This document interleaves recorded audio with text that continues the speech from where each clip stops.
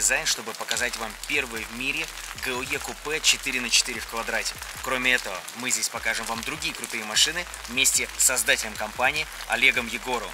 К слову сказать, Car является самой успешной российской компанией, которая делает тюнинг, и она успешна по всему миру. Но давайте же к делу, давайте смотреть, что здесь интересного. Погнали! До их мощного проекта на базе гелика мы доберемся чуть позже. Смотрите, какой дерзкий, а? Приехал сюда на новом Porsche 911, поколение 992. Здесь же стоит еще один аппарат от Top Car. Это GLE 63 в их обвесе. Только посмотрите, какая борзота и эстетика. Олег, спасибо, что нашел время принять нас на своей базе. Вижу, просто работа идет полным ходом. И изначально мы приехали, чтобы показать, друзья, вам GLE купе 4 на 4 в квадрате. Я думал его ставить на обложку видео. Но тут появляется реальная проблема. Это вот этот Урус, потому что, конечно, вид у него просто потрясающий. Олег, давай пройдемся по цеху, расскажи, что у вас происходит, и потом доберемся до изюминки вашего цеха. А, как у вас э, идет, идут комплекты по Урусу? Ну, Урус э, продается очень хорошо, в основном они продаются по миру, то есть мы продали уже более 30 комплектов, а, две трети из них а, в Америку, потому что а, этот комплект попал в официальной сети Lamborghini, и по Америку они продаются через официальные сети. Также сейчас подключается Азия, они тоже сейчас заказали несколько комплектов, вот на отправку тоже у нас идет. Кстати, да, в Топ-Каре еще делают э, обвес, который делает более дерзким В-класс. Ну да, да, да. Вот. Урус очень идет хорошо. Э, запись на Урус у нас э, получается ближайшая доступная квота это конец июля. Блин, тебя поздравляю, это да, здорово, когда можно так говорить. Да. Ближайшая запись на получение обвеса да. тогда-то. Да, а с Геленваген примерно такая же история у нас, но Геленваген он позже стартанул, мы их собрали порядка 10 штук. Угу. Ты э, сказал насчет отправки, мне сразу стало интересно вообще, насколько, насколько трудно подготовить комплект таким образом, чтобы он доехал без проблем, не поломался, и как долго вы ушли к этому? Или поначалу, ну, может, нас, там У нас было что? очень много проблем с э, доставкой. Э, то есть мы, так как мы делаем в основном детали с карбона и отправляем их уже в финише, ты имеешь в виду залакированными уже все, когда все да, по красоте. Детали, которые под покраску, мы их отправляем уже зажиткарены, они подготовлены. То есть их не надо подгонять. Зажиткаренными, это уже вот ваш да. сленг идет, их да? не надо подгонять, их просто как бы прикручиваешь. Болтон, ставишь, болтон. Да, да, никаких проблем нет. Мы отправляли, не делали деревянные каркасы в коробку. Угу. Сейчас мы делаем специальные деревянные каркасы, жестко их крепим, там ничего внутри не болтается, а, и с ними ничего не происходит.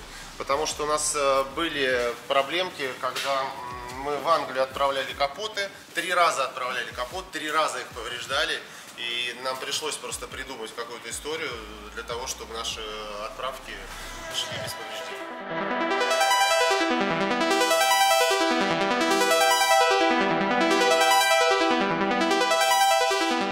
А что у нас здесь входит э, в комплект по Урусу?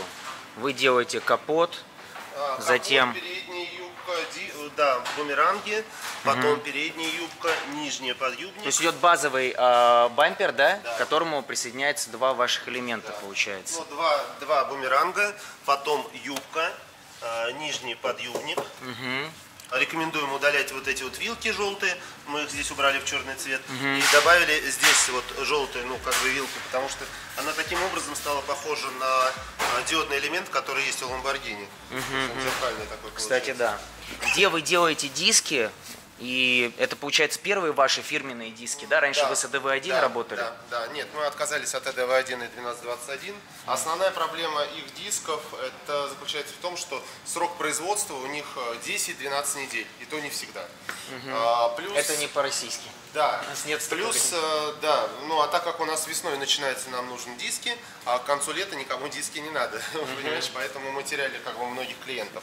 Соответственно, мы нашли а, нормального производителя у нас в Сибири и размещаем там заказы своих дисков. Угу. И все. Они очень как бы прикольные тем, что мы сами выбираем болваны, они сделаны из алконовских э, алюминиевых болванов. Алконовские это что значит алконовские? А, ну, Мансори, допустим, делает из алкона диски. Угу. То есть это То очень, производитель каче... очень качественный алюминий. А, угу. Срок производства 3 недели у нас угу. дисков.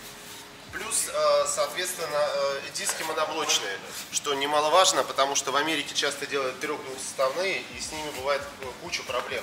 Во-первых, если трехсоставной повредишь одну из частей, то идет дисбаланс, и они там начинают бить. Нам, соответственно, начинают выносить в голову клиенты, что нам не очень нравится. Поэтому... Ну да, вам нужно сделать и двигаться дальше, и забыть да, А, Они там начинают спускать по склейке и т.д. и т.п. Поэтому мы перешли чисто на моноблочные диски и всем рекомендуем только моноблоки. Так, здесь еще получается вы делаете вот этот спойлерочек, Да, второй пороги, спойлер. Пороги, потом Пороги. расширение вот этого. Комплект, он интересен еще чем, почему его через дилеров Этот продают. элемент тоже. Да, потому что все вот эти элементы, они крепятся так же, как по заводу. То есть мы берем заводскую арку, а, разбираем ее на две части. Там с другой стороны э, заводской арки места, ну, защелки п- пластиковые. И вот эта вот наша деталь, она защелкивается на заводские места, так же, как ну, оригинальные детали у лампы. Поэтому как бы проблем с ними, с установкой ничего такого нет. Дерзко получился, конечно. Дизайн дисков вообще просто дерзей некуда, очень смело. Мы спицы развернули, это да, это первый, который мы проработали дизайн дисков. Мы спицы развернули из плоскости. Обычно делают спицы, их э, вот эти вот острые грани заворачивают э, в плоскость. Поэтому они выглядят, ну, как бы немножко плосковатыми. Мы решили сделать так, как, э, ну, машина вся из треугольников состоит. Мы решили просто э, угол развернуть на тебя и все спицы заворачивать от центра. То есть, видишь, он построен на треугольниках. Соответственно, вот эти острые грани, они идут на тебя, поэтому они выглядят так агрессивно.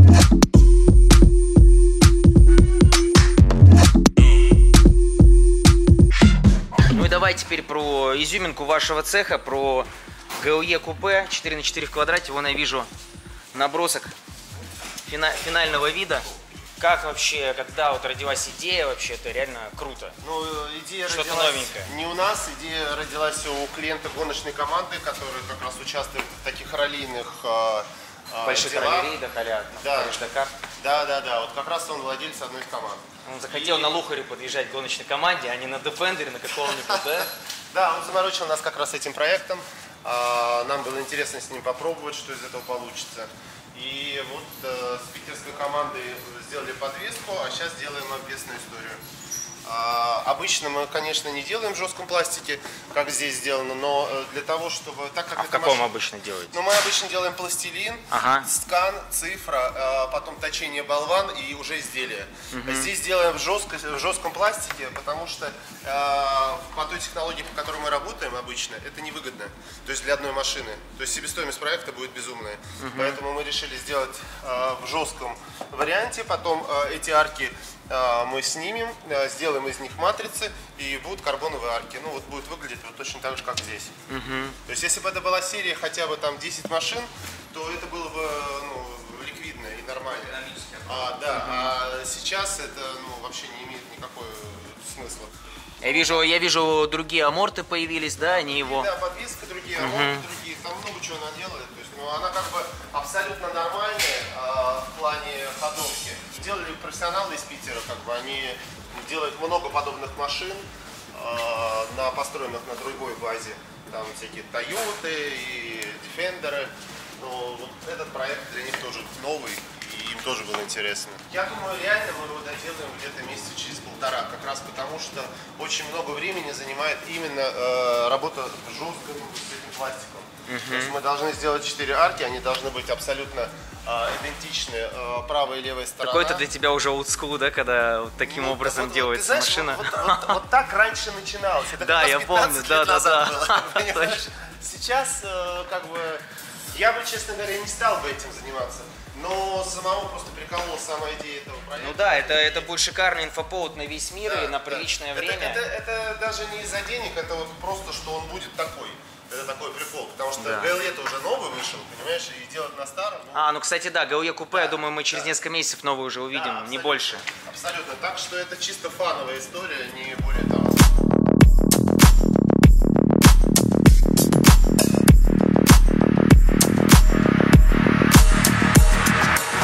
Как кстати, Лума поживает? Что-то тоже про них мало слышал в А, последнее ну, время. У них а, основные продажи сейчас переместились на Америку и на Англию. А, Потому что у них, у всех старых тюнеров, старых компаний, одна и та же раньше была история, каким образом они делали проекты. То есть они брали клиентские машины, обещали им 50% скидку на обвес, забирали машину в работу, и клиенты ждали, и потом, короче, они получали там с большой скидкой обвес. А Сейчас клиенты на это не идут.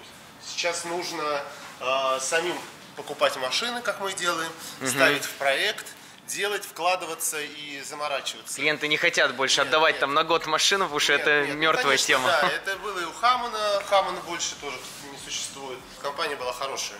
Ну да, слушай, это прям, ну это у меня ассоциации с началом нулевых, с концом 90-х, ну с началом нулевых точно. Но там, BMW, там Хаман. Ситуация в том, что они не успели перестроиться. То есть мы перестраиваемся каким образом? Мы стали делать более качественные вещи. Люди Хаман, он делает из обычного пластика. Там надо подгонять, сидеть, что-то точить. Имеется в виду, как вы делаете вот, GLE купе, да, по старинке. Да, да, да. А у вас уже И- factory made Да, получается. а там, вот получается, понимаешь, Хаман, он стоит нормальных денег, а люди за вот такую вот тему нормальных денег платить не хотят.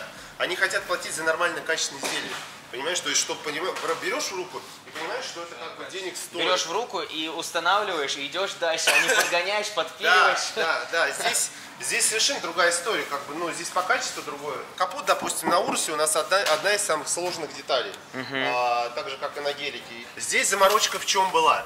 А, вот видишь, вот здесь силовые всякие элементы батареи. Так, да. Вот эти вот, соответственно, вырезать дырки, вырезать дырки, это легко, это не проблема. Но вода тогда попадает на вот эти элементы, и, соответственно, машина сходит с ума. А, Поэтому да, нам пришлось придумывать а, отводы, а, во- отводы воды, а, то есть отводы Да, воды, я понял, они мгм. сюда вот приходят, да. То есть сделать его технически правильным. Ну и плюс, да, мы сделали свою фишку, то есть мы теперь на обратках деталей, все обратки деталей, которые идут на отправку у нас на Геленваген и на Урусов, они выглядят вот именно таким, либо э, синим, либо зеленым, либо э, черным камуфляжем, то есть дорого.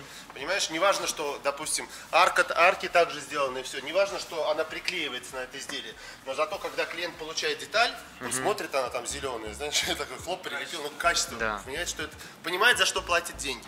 Сколько стоит комплект у вас на Урус? По-моему, в районе трех миллионов, да, я вот честно не помню, в районе трех миллионов. Отлично.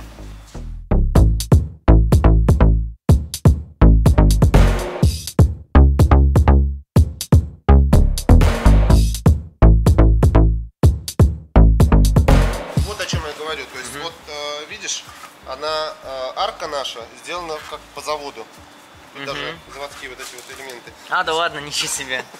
Это вы Да. даете. Соответственно, а, она крепится на оригинальную, оригинальная снимается. Здесь клеится пластиковая штука, которая идет на оригинальный арк. Она просто защелкивается туда и все. Вот деталь как выглядит внутри. А в Африку отправляли когда-нибудь? А, нет, сейчас у нас очень много запросов из Азии. А, и Азия просыпается в плане тюнинга, да? оригинального, что удивительно, понимаешь? То есть они стали покупать. То есть у нас сейчас вот проплачено два комплекта в Гонконг, а, и один комплект, получается, про- про- проплачен в центральный Китай. То есть э, обычно, то есть они покупали самые дешевые раньше, копировали. Сейчас у них пошел спрос на дорогой оригинальный тюнинг. Так, это передняя губа, да? Да, Ага. да. Это передняя губа. Вот опять же, как она выглядит. Хотя она все равно будет снизу, ее там ничего не видно не будет. Все везде Да. с видовым карбоном. Да. Хотя она, это, это самая нижняя часть, а верхняя часть, вот она лежит. То есть она крепится под нее. С фабрики приходят изделия вот в таком виде, то есть они С фабрики ты имеешь в виду с другого вашего цеха, где происходит именно У нас формовка? раньше, когда мы начинали, у нас была одна маленькая печка, вот она, кстати. Которая То есть это была- уже все, это музей Товкар здесь, да? Да, да, да. Теперь у нас две больших, э, два производства карбона и э, одну маленькую мы сюда для просушки деталей отправили.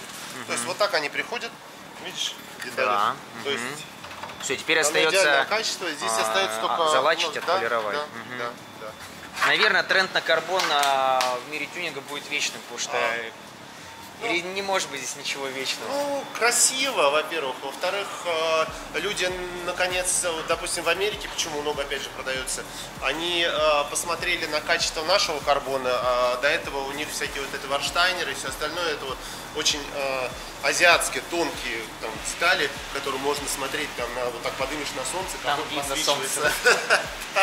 Бумажные вот эти вот дела, или как азиаты любят делать верхний слой карбона, внутри стеклопластик, снизу пленку под карбон. Когда начали получать нашу продукцию, они как бы очень порадовались за качество и увеличивают объем продаж из-за этого. Капот, который пойдет на тысячесильный GOC. Мы его снимали некоторое время назад, где-то весной. А, Сейчас машина получила еще больше мощностной тюнинг от God Motors, от немецкой компании. И сейчас Топкару поставили задачу а, внедрить сюда элементы охлаждения. То есть будут у нас воздухозаборники в начале капота и выход воздуха будет организован где-то Да, вот здесь. Здесь э, вход э, воздуха, э, он идет отсюда. Соответственно, здесь два варианта выхода должно быть воздухоохлаждения э, мощного мотора. Либо здесь, А, мы сейчас обсуждаем это, как бы эстетически это нормально, но технически мне кажется, что они должны стоять вот здесь. Потому что здесь находится турбина, здесь впуск. э, и, ну, и как бы и эстетически он также будет выглядеть ну, как бы очень интересно. Ну, фун-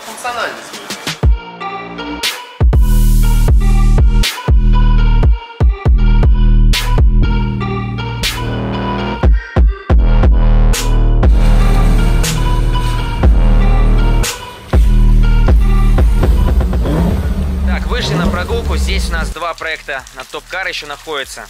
Очень лютый новый гелик. Вообще, насколько трудно было работать над новым геликом? Как долго создавали проект? Ну, мы одновременно поволокли два сложных проекта и решили делать, опять же, их а, по новым технологиям. Ушло у нас 9 месяцев на два Мгм. проекта. Он очень сложен в том, что здесь э, порядка 70 э, вакуумных изделий. То есть каждая деталь состоит из кучи э, ну, элементов. То есть, допустим, даже арка, она это внешне, это одна деталь, Да. одна деталь, там внеш, внутренность вторая деталь, потом э, места крепления, как по заводу, еще одна деталь. Там порядка шести матриц только идет на одну арку. Просто очуметь. Очень мощно здесь, конечно, акула ваша смотрится. Military Style. Вот здесь он прям вообще максимально тематичен на этом автомобиле. И, кстати, капот двухсоставной. Он э, состоит из э, верхней части, нижней части. Э, это защита, которая защелкивается, вот как ну, на заводских обычно она такая пластиковая, и жабер. Заморочили вот этот зеленый гелик, как всего будет три. Мы договорились, что мы выпустим лимитированную версию именно зеленых машин. Одна из э, первых была на Женеве. А, это вот вторая машина. Салон мы здесь так заморочили. Ботега Винетта, кожа, да? Да, да, да. Да, Вообще. это, это не теснение, это именно кожа плетеная, стоит там безумных денег. Здесь использовали, соответственно, зеленый карбон. Ну и перешили весь салон. Да, красотища. Так глобально, даже на первой машине не было подхода, у нас просто не было возможности по времени. Мгм.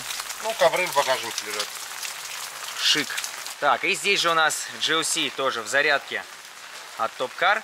А, скажи, как вообще идет обвес на GLC? GLC купе идет сумасшедшими объемами, в принципе. Ну, как сумасшедшими, для нас сумасшедшими. Два-три комплекта в месяц он продается. Мгм.